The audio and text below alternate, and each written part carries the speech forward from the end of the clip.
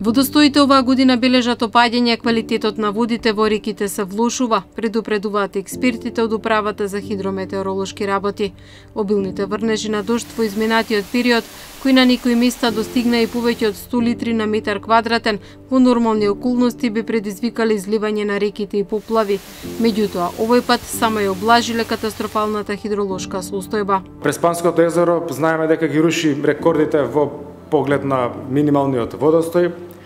Охридското езеро беше тука некаде на границата на дозволениот минимум, 2 сантима беше само над дозволениот минимум, а додека сите вештачки акумулации во земјата беа речеси испразнети како резултат на лошата хидролошка состојба. Упаѓа и квалитетот на водите, велат од УХМР. Мониторингот врз 20 водни тела во државата покажува дека малку од нив се во добра состојба.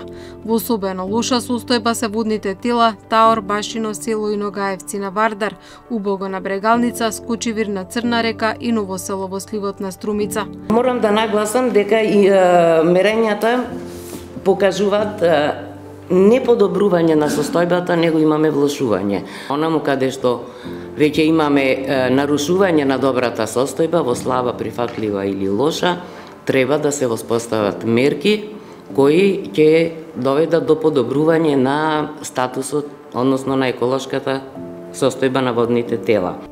За да се обезбеди јавен преглед и редовно следење на квалитетот и загадувањето на реките, во рамките на кампањата Разбистри се, беше изработена дигитална мониторинг платформа на УХМР.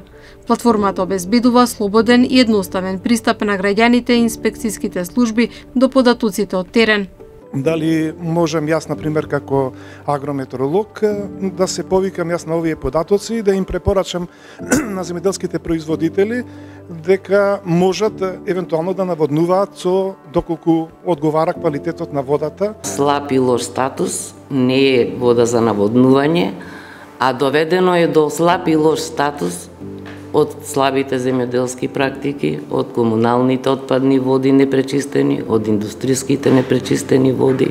Сепак, премалиот буџет на УХМР и недостатокот на стручњаци наблюдувачи и мирни станици го отежнуваат мониторингот на квалитетот на водите. Управата за хидрометеоролошки работи, мониторингот кој го работи на квалитет на води, има финансиски средства од околу 8.000 евра годишно, безплати. 8 луѓе за да работат еден мониторинг кој е во согласност на барањата на Европската Унија, претендираме да бидеме членка на Европската Унија, се навистина многу малце. Водните тела се доведени до големи загадувања и затоа мониторингот на УХМР е исклучително важен за да се обезбедуваат информации за еколошкиот статус, но и за креирање одржливи и ефикасни политики за заштита на водите, порачуваат хидролозите.